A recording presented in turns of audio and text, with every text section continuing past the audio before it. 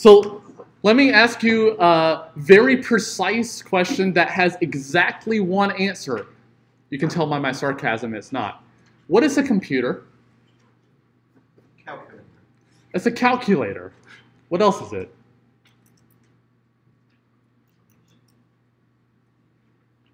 Is, uh, does it necessarily have to be a machine? And in fact, uh, like the earliest computers didn't actually have any electronics or uh, even metal for that matter. So, what is a computer? Something that computes. Okay, that seems interesting. So, something that computes. Well, computes what? Ah, inputs and outputs. Okay, well, what are typical inputs that a computer might have? Well, uh, that's technically the right answer, but like generally, what types of inputs are you used to? Are you used to writing zero, one, enter? So, uh, uh, how many of you read Far Side comics? Oh, you absolutely should. So there's this um, uh, one panel comic of, uh, of a person at a computer, and it says real programmer's code in binary, and there are these three buttons, zero, one, enter. so real programmer's code in binary. So, uh, but really, what types of inputs do computers usually have? Strings. Yeah, strings, but do you work with strings or do you work with what things on the computer do you usually use? Keyboard, mouse. Yeah, keyboard and mouse, right. So you have these inputs, right? So you have all kinds of inputs. So like uh, keyboard is an example. Uh, you might have a mouse. Uh, what other types of inputs might you get? So think less hardware type things. Although there are others, hardware ones. Sound. Um, yeah, I think sound would be a good one. What else? Power. What's there? Power. Uh, power. But does that come as input usually to a computer? Uh, I guess it could, yeah. So power is another one. Uh, but can an input come over the network? Yeah, certainly. So uh, anything to do with uh, networking, or yeah, so anything to do with networking. Okay, so that's fine, uh, unless someone is dying to add another one. Okay, so uh, and so along with inputs come what? Outputs. Okay, great. So there are outputs over here. So we got inputs. What are some outputs that a computer might have? What is the obvious one that you use every single day? Screen. The screen, yeah. Screen, image, yeah, all that stuff. Uh, what other types of outputs might happen? Yeah, sound to, to mirror the other sound one. Uh, what other outputs might we have? Yeah, again, network also. Um, uh, what else could there be? Uh, you could have things sent to a printer. So it's not necessarily just literally on the computer things happen. It could be sent to another device near it, and then the output happens there. That could happen. Okay, so uh, I think this is a pretty exhaustive list for, for most everyday things that might occur. So you notice I left a little space in between these two. So what do you think goes in that middle? So something that uh, takes these inputs as input and produces these outputs. So does it really make sense for a computer to consume input and not give any output whatsoever? That that seems kind of useless, right? The, whether even if it's like written to a file, like the result of a computation written to a file, that is an output of the computation. So uh, I can even put that also. So like file in here. So there's got to be something that converts from these inputs over here to these outputs over here. As junior level, I think, uh, programmers, what do you think usually goes there? How do you take inputs to make outputs? So some type of function or in, is more specifically what? What do you write? You're computer programmers. What do you write? Program. Programs. Okay, great. So uh, things that can go in here, so computer uh, programs. Um, could a human be involved in this? Yeah, so it's, it's not necessarily just uh, um, computer programs or humans or, uh, but much more generally, what happens here? We're computing a function. So a function, remember from 243, takes inputs to some other domain, some output. So here we're really computing a function uh, or you can think of this as we're doing computation. So there's something that happens here that uh, does this function somehow. It takes these inputs, does some processing, whatever that needs to do, and it produces outputs. Is that clear? Okay. So let's see. Well, could a computer or whatever this thing is, whatever this computational device is, uh, could it have uh, as many inputs as you want? Could it have 10 inputs and 10 outputs? In principle, could it have that? Yeah, I can just add a USB or several USB hubs and plug them all in, right? Do we really need 10 though? Or could we just get away with one? So I'll actually show you a way that you can say, you can show that I don't need 10 inputs. I can just match them all up into one gigantic input and then to one gigantic output. So think of it this way. So let's just say that we have uh, the keyboard having input uh, input values in binary, let's say 0, 1, 1, 0 stuff. The let's just do three to make it easy. And then uh, the mouse is one, zero, one, one stuff. And then the sound is uh, zero, zero, one, one stuff.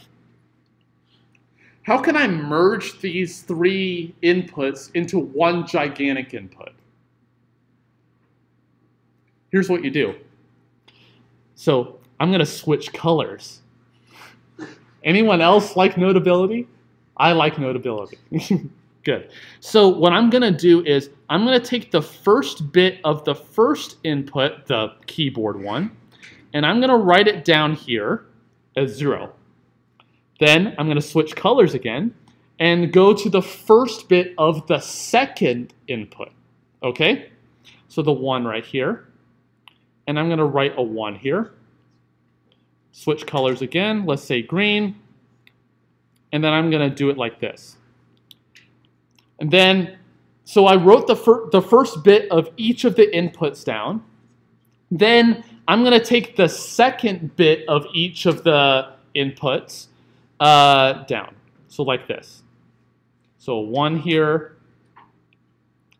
Then the 0 comes here. And then the uh, second bit of the third input, oops, uh, second bit of the third input goes here. So what we're doing here is we're interleaving the inputs together. So if I wanted to know what the first bit of the sound input is, I just ask for the third bit in the input. Okay, so all we're really doing is we're just we're just interleaving the inputs together. So do we really need 10 inputs, 10 separate inputs? Or can we get away with one? So I'm not saying whether this is practical or not. So this is actually the one class that's really nice that we can avoid uh, uh, any physical constraints of the universe. So we can just uh, avoid any uh, thing that sounds inefficient and just ask, can we do it at all? So can I do this at all? Yeah, so uh, I can certainly do this. So no issue there. Okay, and then obviously this continues all the way down. So, so therefore we can say, oh, uh, we only have one input. And so we only need to worry about one input here. Can I do the same thing with the outputs? Ah, we, we can interleave the outputs exactly the same way. Ah, so that's kind of cool. So what we're go- so we're going to consider a single input and a single output. So we're abstracting all of the details away. Again, a nice thing about this class, we abstract all the details away. So we're just looking at a single input, single output. Okay, but I'm actually going to make this even easier. You think, okay, this is really easy. This is really dumb. We're only at one input, one output. Ryan, you're going to actually make this easier?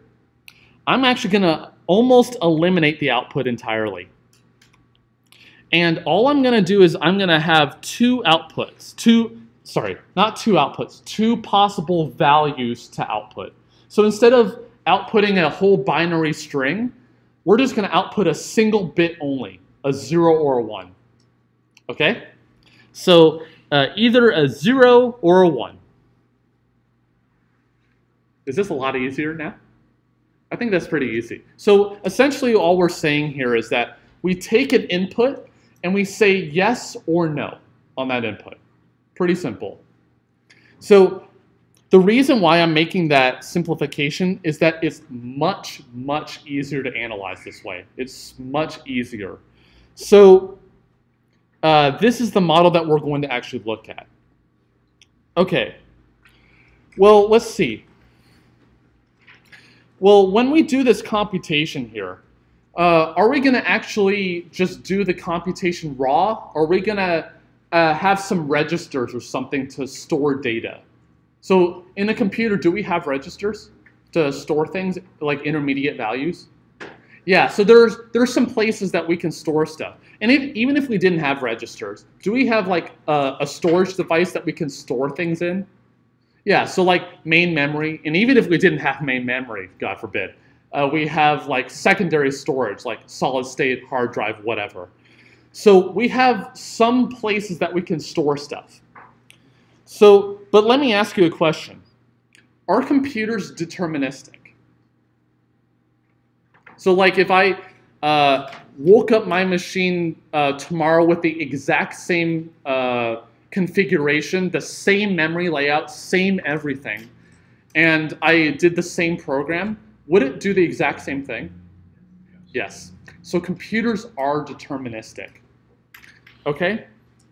Well, let's see. So if I take this input right here, so I should be able to expect a zero or one every single time, the same output every single time because the computer is deterministic. Cool. Well, let's see. Could I, let's extend that a little further.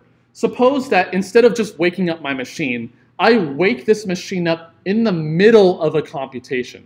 So I've already had a program going for, say, six weeks, and I freeze somehow my computer and then a month later, I wake up my computer again in the exact same state, literally the same memory layout as it was before. Would it continue doing exactly what it would have done? Yeah, because computers are deterministic. So for that reason, we can think of the memory layout as something that can be stored or a state of the computer. So whatever the memory layout of my computer is, it's some layout of bits, but we can think of that as a single state of the computer. And if I wake up the computer in the exact same state, it'll do the exact same thing from that state no matter when I do it. Okay? So we can think of a memory layout of computers to be uh, states. Okay? So the memory layout of a computer is a state.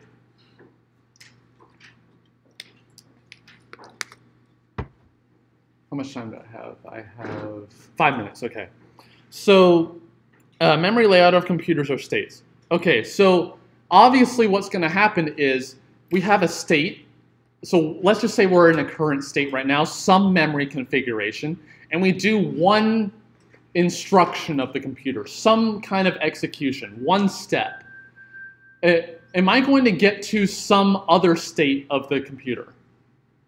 Yeah, so if I uh, change uh, the value in a register, that's going to change some bits, or it might not actually change things, but something's going to happen, and the result of that is going to be a state.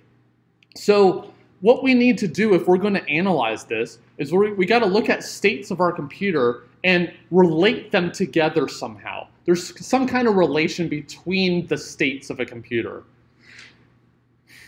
Well, let's see. Let's just say that we have a particular state that we're looking at. Could it be that, uh, uh, let's just say that if we're in this state, we could output one right now. Say, say yes on this input. Let's just say that we are in one of those states. Could the computer carry on other computations after that point, even though we could say one or zero? Could the computer just carry on and then eventually say yes or no at some point later? Yeah. So some states we should mark as one states and some zero states as um, uh, other states. So what will happen is if we do our computation, end up in some memory configuration, some state, we have identified each of the states with either 0 or 1. We said this state is a 0 state, or this state is a 1 state, this state is a 0 state. And if we end up in that 1 state and the com computation's all done, then we say 1 on that input, or yes on that input. If we end up in one of the 0 states, we say no on that input, or 0. So we got to set uh, each of the states to be uh, zero or or one states. But there's something uh, else we need to look at, uh, if that is that isn't already enough. Well, when I start up my computer, does it start in the exact same uh, state every single time? Yes. It, so, uh, it, so I, I know, ignoring secondary storage. Think of just main memory here. So do we uh, start up in the exact same start state every single time? Same memory configuration every single time we wake the computer? Yes, every single time. So we got to identify one of the states to start with. So we got to uh, set one of the states to be a start state.